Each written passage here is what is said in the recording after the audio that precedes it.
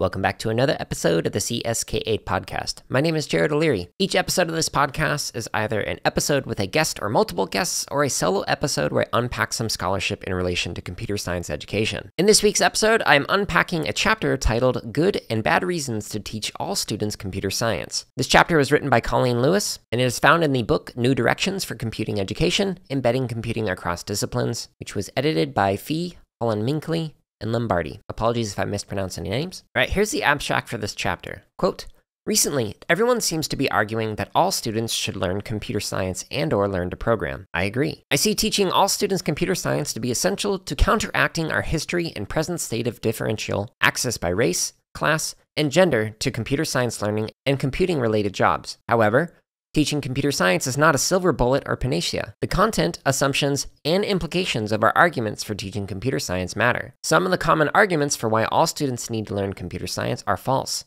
Some do more to exclude than to expand participation in computing. This chapter seeks to deconstruct the many flawed reasons to teach all students computer science to help identify and amplify the good reasons. End quote. It's from page 15. If I to summarize this chapter into a single sentence, I would say that this chapter problematizes common rationales for teaching computer science in K 12 schools. Now, as always, in the show notes, you can find a direct link to this particular publication, so you can purchase the book, as well as a link to the author's Google Scholar profile, so you can read more publications by this author. And you can find those show notes at jaredoleary.com or by clicking the link in the app that you're listening to this on. And while you're on my website, you will find hundreds, if not thousands, of computer science education resources, as well as content related to other things I'm interested in, for example, video games and drumming. So, in the introduction, the author describes their passion for computer science education and computer science. Here's a really important quote that resonated with me from page 15. Quote, when I graduated from college and started working as a software engineer, I sought out opportunities to teach people computer science as a way to share my passion.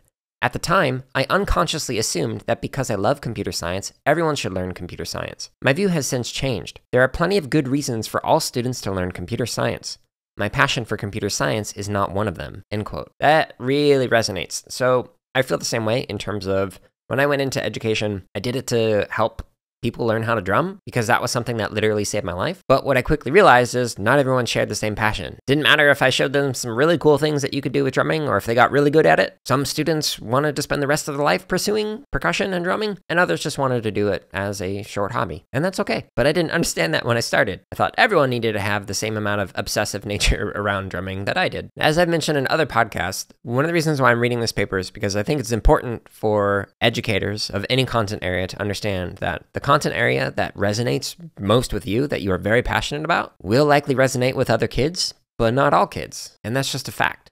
And that's okay. I had a professor who would point out to the music education students that, let's say, there were a couple hundred students who were participating in the music program, what percentage of them actually went on to continue doing that? Even if they absolutely loved it in high school, it doesn't mean they wanted to pursue it outside of that, like for a degree. Same thing with computer science. When I was working with K 8 students, some of them it was clear they were going to pursue this for the rest of their life. And then for others, they just wanted to create something in class and then they were done. However, as a field, when we speak about computer science, the things that we say might end up doing more harm or spread some misinformation. So, as a parallel because of my background in music, there was a large organization in music education many years ago that had a campaign that was something like Music Makes You Smarter. And it was likely based off of the research around, oh, if you listen to Mozart, then it's going to help you improve on your test scores, which led to a lot of companies creating content like, hey, you can have your baby listen to Mozart in the womb and they'll become a genius. Turns out that research was debunked. Basically, what really happened is it was like a stimulus. So you could have gotten similar effects, or maybe even better effects, if you had done like jumping jacks before taking a test, as opposed to listening to Mozart. So this paper is kind of a parallel to that short example that I gave. So the author is going to describe two different categories of different arguments for computer science. One is on the immediate benefits of computer science, and the other category is on the long term benefits of computer science. All right, so in the first section on the immediate benefits of computer science, the first question that is discussed is Can programming teach students? Students to think logically. So on page 17, the author points out that chess seems like something that would teach somebody logical thinking and improve their abilities to think logically. If they increase their abilities as a competitive chess player, then it should help them think more logically, right? However, the author cites a study that says, well, that's actually not the case. What instead happened is people who gained expert performance in chess were simply gaining a lot of domain specific knowledge around chess. And while this might be important for students to develop cognitively, it does not necessarily mean that the logical thinking that is applied in chess is going to transfer outside of chess outside of this specific domain. So going back to the example of music makes you smarter, yes, music can be a whole brain activity, but so can many other things. And just because you're engaging in more sections of your brain while performing music, it doesn't mean that that's necessarily going to transfer over into other domains. So for example, I have really good hand-eye coordination when it comes to drumming, and playing video games, playing marimba, etc. But when I first learned how to play squash, I was terrible with it. Squash is like racquetball, by the way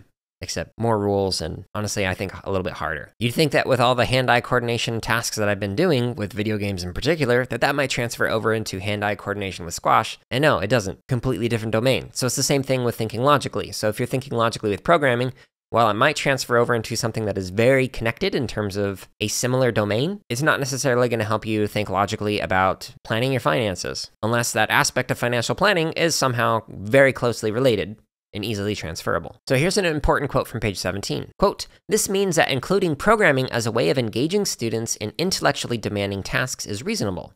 However, this does not motivate replacing existing content with computer science. Computer science is my favorite discipline, but that does not cloud my judgment to believe it is the most or only intellectually demanding discipline. End quote. And that's a really good quote there. Another thing that I've heard a lot of people talk about with the more competitive nature of music is that it can teach discipline. So, for example, in drum corps, which is like competitive marching band and drumline and whatnot. One of the most frequently cited things is, oh, it helps you teach discipline. Okay, well, so does learning mixed martial arts. So why are we not teaching mixed martial arts in class? So whatever arguments that we have in terms of why we think computer science is important, we really need to ask ourselves, okay, but is this the best way of doing that thing? However, to argue with myself, that answer depends on who the kid is. So for me, the best way to teach me discipline was through music and mixed martial arts and whatnot. I absolutely loved developing discipline in those domains, but I was less interested in some of the other sports that I tried. It could be the same thing for computer science. So if we think that thinking logically is very important, maybe computer science will resonate with some students, but chess will resonate with others. But we again need to remind ourselves that it doesn't necessarily transfer outside of that domain. Now, to put a little bow on this, here's a quote from page 17 and 18.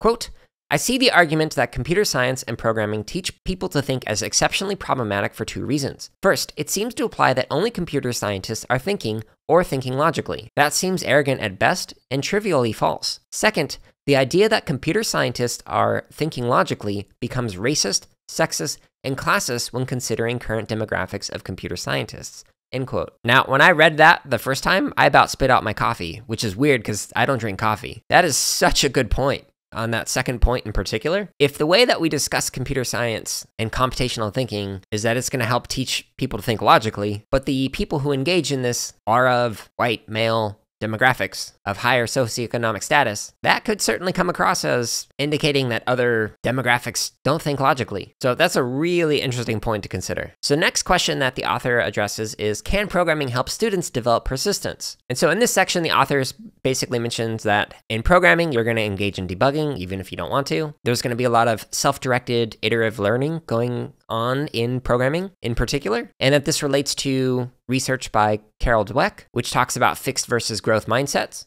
which I'm realizing now I don't think I've done a podcast on, and I really should. But one of the interesting things that the author mentions in here is that there are some researchers who argue that actually engaging in these iterative processes while constantly receiving error messages might actually develop a fixed mindset that students are unable to improve their understanding of computer science or programming. And so they cite a couple of studies in there that sound really interesting. Now, in addition to talking about the fixed versus growth mindset, the author also cites Duckworth, who discusses grit. So the grit is the idea of being able to engage in something over an extended period of time, persevere through it. So here's a quote that resonates with something that I mentioned in a previous podcast episode. And this is from page 19. Quote, However, arguments for universal computer science education on the grounds of improving grit should be viewed with caution. The grit narrative sometimes emphasizes personal responsibility and perseverance in ways that ignore and deny systems of power and privilege that promote and prevent success. End quote. That's a really good point. Yes, it's good to persevere and have grit. Learning something can take many, many hours, not just the 10,000 hour rule, which I have a podcast on that I'll include a show notes in. It's not just once you reach 10,000 hours, suddenly you're an expert at something. Even though that 10,000 hours is obviously a long amount of time, some domains it's more, some domains it's less.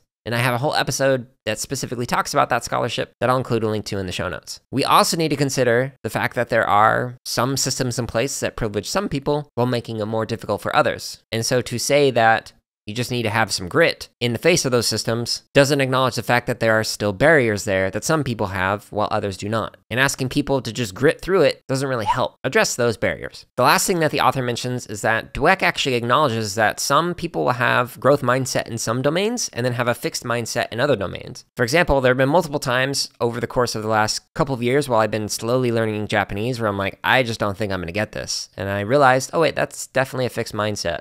I just need to invest more time and energy into this. And the fact that I had that is interesting because when it came to music, I never viewed myself as being incapable of improving as a musician. Even when I was absolutely terrible when I first started, I always thought, okay, well, if I invest more time, I'll get better. And that was true. So it's interesting in some domains where I have a growth mindset, and then others where I catch myself having a fixed mindset and having to remind myself it just takes time and maybe I need to change my approach to improve in whatever area I'm working on. So the author concludes this section by basically saying that while there are some failures that are going to come with programming in particular, it's not necessarily clear that this is going to improve like a growth mindset. So the next section is on can programming help students learn science and math? And here's kind of a summary of this particular section, which I do highly recommend reading. This is the summary at the very end on page 21. Quote, the fact that programming instruction can be aligned to reinforce or introduce mathematical and scientific ideas does not imply that all programming instruction will provide this benefit. Instead, it is reasonable to assume that there are opportunities for negative transfer from programming to math, and that programming instruction may displace important math and science content. The intuition that programming could help students learn science and math is likely based upon the argument that programming inherently requires students to use a type of logical reasoning present in mathematics and science. However, this argument suffers from the same lack of evidence seen in the appeal to programming as an opportunity to learn to think logically. End quote. So the second sentence in particular really stood out to me as something that we should consider. Anytime you are going to integrate one subject into another, you're going to need to spend time learning both subject areas. And if that integration occurs in only one of those classes, that will take away time from learning that particular subject. So for example, if we're going to integrate computer science into an ELA class, and if students have never done computer science before, like they've never programmed before, you're going to need to take away ELA time to teach them some basics about programming. Yes, you can do it in a way that situates it in meaningful ways that teaches both computer science and ELA at the same time, but you're still going to have to spend some time developing skills and understandings and practices and concepts relevant to computer science to integrate it in a meaningful way, in my opinion. However, one way that I think that you might be able to prevent this is if it's a collaboration between a computer science educator in class and a ELA educator in class, where you can then learn computer science concepts in the computer science class and ELA concepts in the ELA class, and then collaborate together to create a joint project that combines the two. Doing something like that would mean that you would still spend the amount of time working on computer science in the computer science class and ELA in the ELA class, but then you're just merging the concepts and practices together into a project for both classes. To try and do all of that And one class would inherently take away some time from it. So, for example, if you're going to do one project that merged ELA with computer science, it might take you the same amount of time to do two projects with just ELA and not worrying about integrating with CS. I don't know if that makes sense to you. It makes sense in my brain. So I'm going to go ahead and move on to the next question in this chapter, which is Can programming provide students emotional value?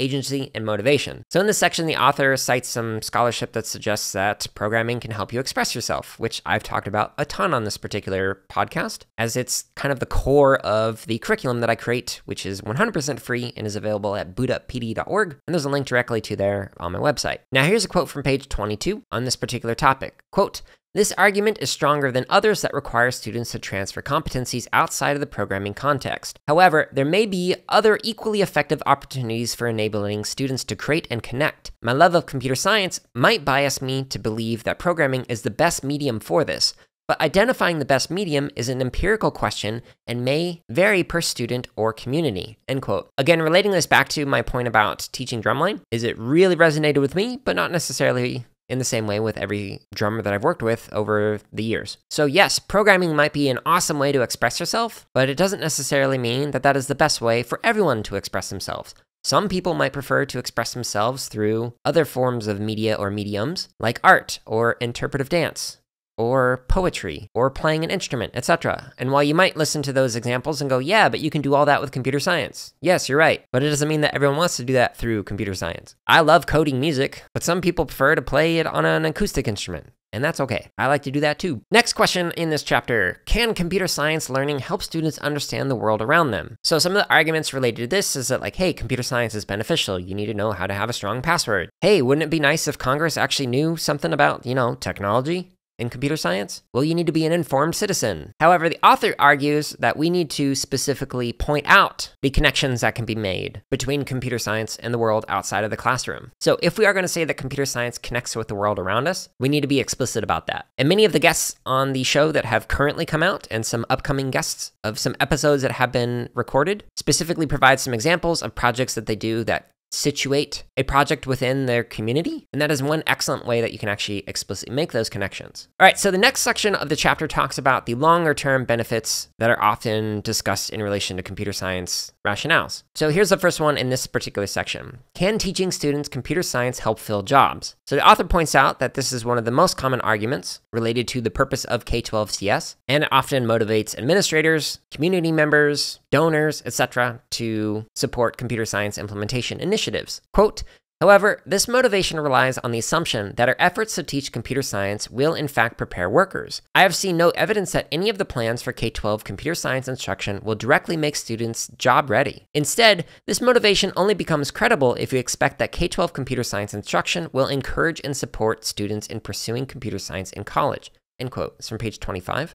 But if you listen to the episode that released last week, which used sharecropping as a metaphor for working in the field of computer science, we really need to consider is this kind of job that we should promote for all students? So the next section is on can diversity improve the tech industry? Now, here's an important quote to consider from page 26. Quote, the appeal to diversity as a tool for more effective teams is sometimes misunderstood or misused to imply that individuals who are members of groups who are underrepresented in computer science will provide a specific and predictable contribution to a team. For example, Consider the claim that having women on a team will help the team be more collaborative. This can lead to differential expectations of people, and a meta review suggests that, contrary to the stereotype, women are not more collaborative than men. Even if women were, on average, more collaborative than men, there would be women who were less collaborative than most men, and men who were more collaborative than most women. Because of significant overlaps and distributions across cognitive, communicative, social, psychological, and motor dimensions, a person's gender identity is likely a poor predictor for most characteristics. Instead, it is important to recognize that all individuals have a variety of identities and experiences, and that these identities and experiences shape an individual's contribution to a team in diverse and unpredictable ways. End quote.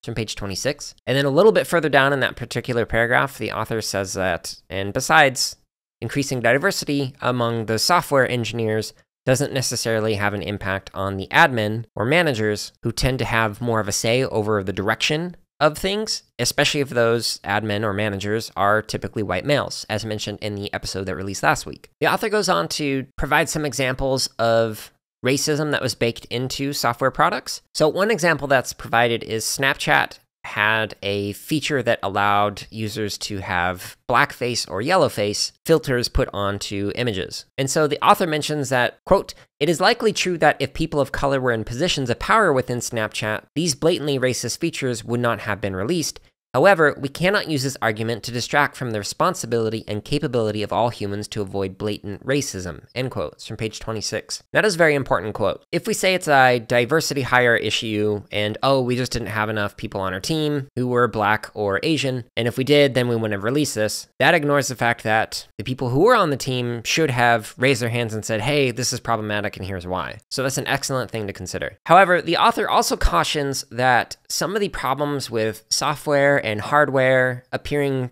to be racist, whether it be facial recognition technology or like hand dryers only working on light skinned hands instead of dark skinned hands, might not be a result of the diversity of the team, but it might be a result of wanting to find the cheapest hardware and software to create the technology with the highest margins for profit. So, an example they gave is that original cost cutting measures for the crash test dummies meant that the crash test dummy was five foot nine and 172 pounds, which was modeled after the 50th percentile height and weight for a male. And it wasn't until 2011 Did they actually have smaller test dummies in different sizes? And while we could argue that well, this is gender biased or weight bias or size height bias. It was likely just because of cost cutting and aiming for the average without considering the margins, which is a good point to consider. Some of the problems with software and hardware might just be a result of a company wanting to save money, and so they went with the cheapest solution that would work for the most people so they could have the highest profit margins. So here's a final quote from page 28 on this particular section. Quote, again, there are benefits to diverse teams, but these benefits are not easily predicted by a single dimension of a team member's identity. And our training or software engineers must include an understanding of the historical context of racism and other forms of oppression so that they can push back against cost cutting measures that will result in unusable, biased, or explicitly racist software. End quote. So the next section asks Can K 12 computer science help students feel like they belong in computer science courses in college? And so the author mentioned some research about how people who were exposed to computer science and engaged in it were more likely to consider it down the road than those who were not, and then provides some examples of some colleges like Harvey Mudd, who has different levels of introductory CS courses. So, like for those with no, some, and a lot of experience, are able to go into different tracks. So they're not all having to take the same thing and engage in the same content. And how doing stuff like this helped actually increase their percentages of different demographics enrolled in the courses. So increasing access to computer science can help develop a sense of belonging. And the last section in this particular chapter asks, can K-12 computer science help students compete in computer science courses in college? And so this section has some interesting discussions on some prereqs and how those can serve as barriers in some colleges, like if they require a specific language over others. But it also mentions a section at the end that I want to read. That's from page 30. Quote, with increasing enrollment in computer science departments, it is likely that even more colleges will institute competitive admissions policies as a way to limit enrollments to a number of students that is feasible for the department to serve. This could serve to reinforce these structural barriers for students without or with less K-12 computer science access. End quote. So that's really interesting in my opinion, because one of the most common arguments is, well, there's all these jobs that are open and we don't have people who can fill them, so we need to increase the barriers of entry to get those jobs in universities because too many people want them now? Like, I don't get that. I understand that universities do that. I mean, look at the admissions policies to get into a school of music. The ones that are extremely competitive might not even have a single position open. Like, I believe my wife was the only percussionist who was a freshman that was admitted into the program during her year. And that's not because of lack of applications. It's just that hard to get into a school of music, or at least some of them. So if we start doing that with computer science programs, I don't know. It just doesn't seem to match the whole popular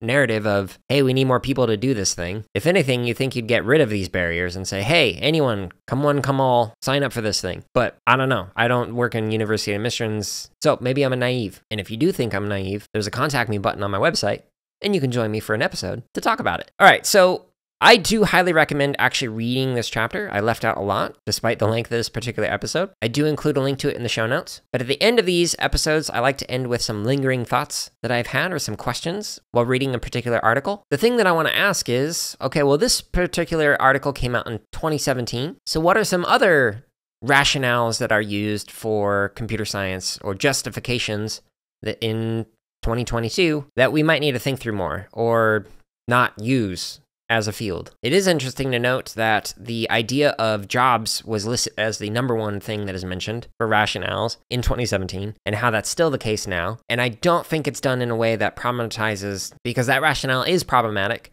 and yet it's pervasive. So I'm curious why that is. If you've got a rationale or an argument for computer science that you think the field should discuss more or discuss less, consider sharing that on social media and engage in some kind of a conversation with colleagues about it, because I think it's important for the field to chat through some of these things. Just as I think it was important for music educators to stop saying that music makes you smarter, because it doesn't. I do include some links to some other podcasts that I mentioned that are relevant to this particular episode, as well as some other resources like a paper that I wrote or co-authored rather. And you can find all those at jaredoleary.com, which has links to a bunch of computer science education resources like the content that I create for bootuppd.org, which is 100% free, curriculum, as well as some drumming and video game content, because I'm that kind of nerd. Stay tuned next week for another episode, and until then, I hope you're all staying safe and are having a wonderful week.